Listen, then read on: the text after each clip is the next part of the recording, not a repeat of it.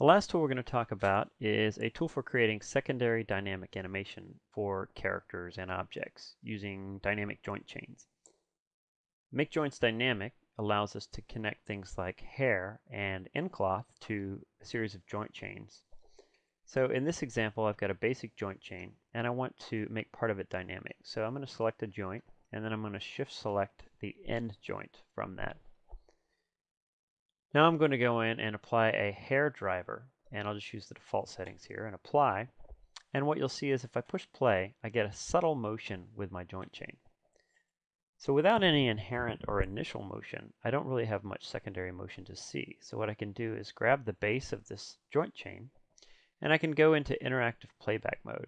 Now while I'm in interactive playback mode, I can actually use my transform or rotate manipulators to test the behavior of this dynamic chain.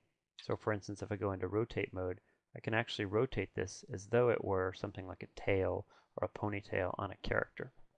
So this is the basic behavior I would get. If I wanted to refine this, I can actually go in, grab the handle here, and it will give me a series of parameters that control things like the stiffness, the amount of gravity, damping, and friction. So for instance, if I give this a negative gravity, and I go back in and push play, as I give this uh, a negative value, say negative 5, then that's going to behave more like a balloon.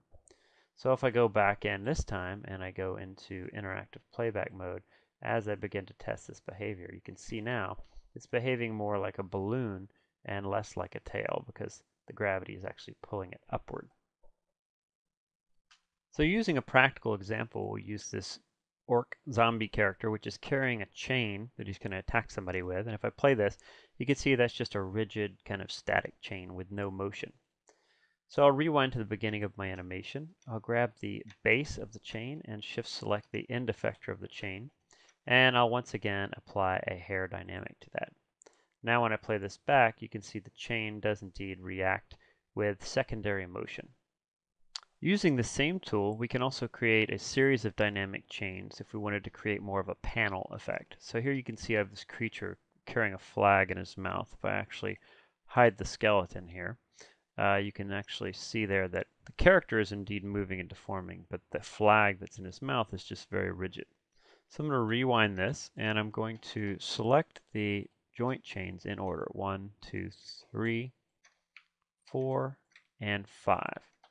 Now I'm going to go in and apply, instead of a hair for the driver, I'm going to try uh, apply a multi-chain nCloth. So with this, I have a couple of options. I can use stretchy IK, I can use per joint IK, or I can use spline IK. So I'll start with the default method, and I'll simply apply that. Now I have the option also of colliding. For instance, if I want the cloth to collide with his foot. For now, I'll just set it to no collisions. You can also see here that I get a grayscale representation of the fall off so that I can actually control how much influence the uh, dynamics have over the length of the chain. Now when I play this back, what you'll see is a dynamic object that will react to the environment around it, or rather it will react to the motion, but it's not currently reacting to the environment. The properties of the dynamic object can be edited as well. So if we select it, you can see it becomes a cloth object in the attribute editor, and I can apply a given preset to this. For instance, I can make this a stretchy material like a rubber sheet. So I'll apply that, and now when I play this back, I'll get a much stretchier behavior in the cloth. Now you can see actually even steps on it and stretches it out, and then it releases and, and kind of expands and contracts like elastic. Ultimately, after refining the behavior, I can bake out the animation, the dynamic animation, as either a cache, or I can actually bake it out to the joints so that the joints will just have basic keyframes on them in the case of potentially exporting it to an engine, for instance, for a game. Here you can see the actual end result driving not only the joints, but also the resulting mesh.